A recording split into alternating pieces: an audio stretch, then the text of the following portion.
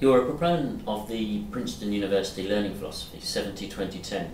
Um, could you just explain a bit more about that and why you see it as being so important? Yeah, sure. I think it's a really good learning model. First of all, I wouldn't call it the Princeton University model. I, I, Princeton did some early work. In fact, a researcher at Princeton, who's now an emeritus professor in Canada, uh, did some early work. But I think the, the 70-20-10 model really came out of the Center for Creative Leadership in North Carolina. Uh, the, they did some work uh, in the mid 90s, in fact, published a book.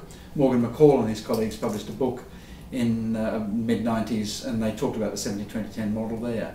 But in fact, it's been adopted by last count from me, from some researchers working in Australia, was about 60 companies, big global companies that have adopted 70 20 10. And it's based on the principles that we learn, adults learn about 70% of what they need to know, they learn by doing their jobs. They learn about 20% through other people, through colleagues, through knowing the right person to right, ask the right question. It might be through informal coaching and mentoring and all sorts of other ways. And they learn about 10% through formal, formal structured learning. And one can't be precious about that, that uh, breakup in terms of 70, 20, 10. You know, for different contexts, different organizations, it'll vary.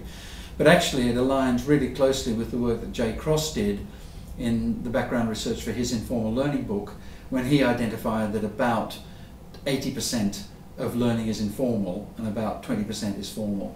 So, what I see 70 20 10 as is just a really good framework to think about how workforce development happens and not to spend all your money and all your resources and all your focus on that 10% and start to think about what tools do you need, what approaches do you need that can help people in the workplace, and then all that whole big 20%, or I think it'll probably grow, but that social learning area in terms of how do you put people together and find experts quickly in the organisation and outside the organisation and so on. So I think 70 20 10 is a really good model, and I've spent a lot of my time in the last year working with organisations, uh, both provider organisations and big corporates, on 70 20 10. In fact, I'm in Paris in a couple of weeks' time doing a workshop for a, a big corporate organisation, big global organisation on 70 2010. So, yeah, I think it's a, it, it's a really good framework. But as I say, it's good to use as a framework, as a model, and not as a recipe.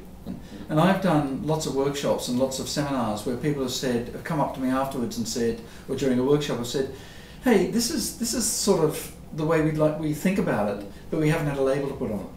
So there's lots of organisations that are moving that way, uh, you know, with the awareness uh, around informal learning and so on, then moving into how can we support people in the workplace? How can we give people access to what they need to do their jobs just in time, exactly when they need it? How can we provide them with help exactly when they need it, at the point of need? Uh, and there's some good organisations that provide performance support solutions that are really focused around point of need learning.